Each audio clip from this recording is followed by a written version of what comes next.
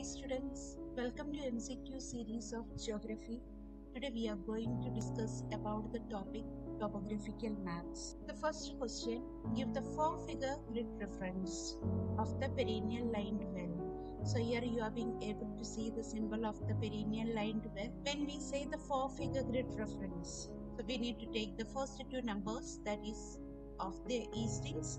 Then second we need to take the northings number we need to take the northing so these are the northings number now here the perennial lined well that is coming under the easting that is under the number 39 and the northings number that is 2 2. so your answer for the four figure grid reference of the perennial lined well that is 3922 let us move to the second question. The next question name the settlement pattern in grid square 3923. So the eastings 39 and the northings that you have that is of 23. So that means this area that is being coming under 3923. So what type of a settlement pattern that is being seen here? You can see the houses that are being far from each other. So we call this type of pattern as a dispersed or scattered settlement. Question number three. What is the main occupation of the people living in 3922? Occupation of the people living in 3922. So we are being able to see green wash or green color. So green color it represents that is of forest regions. So the occupation of the people that is forestry. Question number 4. What is the general direction of the river indicated in the map? General direction that means the flow of the river. Two easy ways that I will tell you to find out about the general direction or the flow of the river. First, you see whether is there any aroma that is given in the hmm. river. So, to which direction the arrow mark that is be moving, that will be the direction of the flow of the river. Here we are being able to see it is moving or flowing towards to the southwest direction.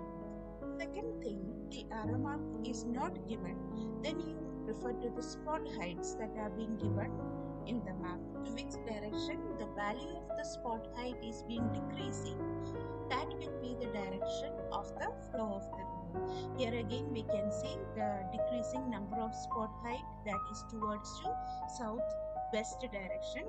So the flow of the river or the general direction of the river that is to southwest direction.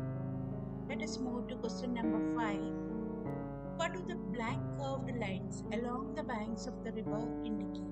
You are being able to see the black curved lines that are being given here on the banks of the river. So these are the broken ground. Next question. What is the direction of Nimbora from Sirori? So when you get the direction of places, please remember these two words that is off and from. So wherever the word from is there, you need to draw your north line here. Okay, draw your north line and from here you are being able to join the lines. So here you are being able to understand that is to the south as well as to west direction. So the direction of Nimbora from Sirori is to the southwest direction. Question number 7. Which drainage pattern is seen in 3922? So here the drainage pattern that you are being able to see it looks like the roots of a tree or like the vein of the leaf so it's been easy for you to understand this type of pattern we call it as dendritic pattern. Question number 8. Name two man-made features in the grid square 3822. 3822 you have to find out two man-made features. Man-made features means things that have been made, constructed or made by human beings.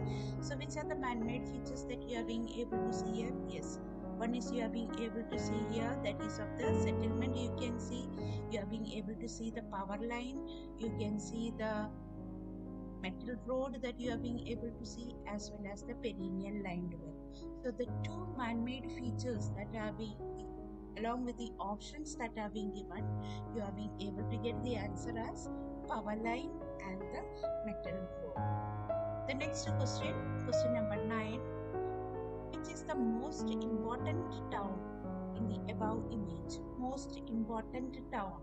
So here first thing you see the area that is being used according to the houses. So more area that is being used by this settlement that is the town that is Sirori.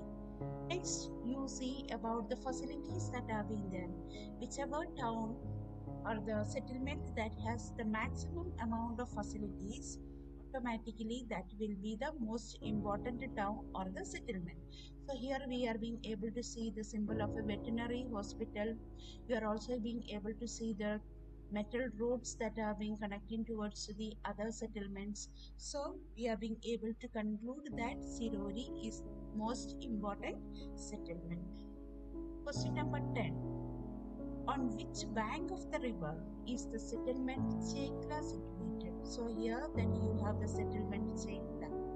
So on which bank of the river? So here again, in order to find out the bank of the river, you feel yourself that you have been standing in a river along with the direction of the flow of water. Along with the direction of the flow of water and since the river that is been flowing towards to the southwest direction you are also standing in the same direction. And your right side will be your right bank and your left side left bank. So here the settlement Chekla is situated to the right bank of the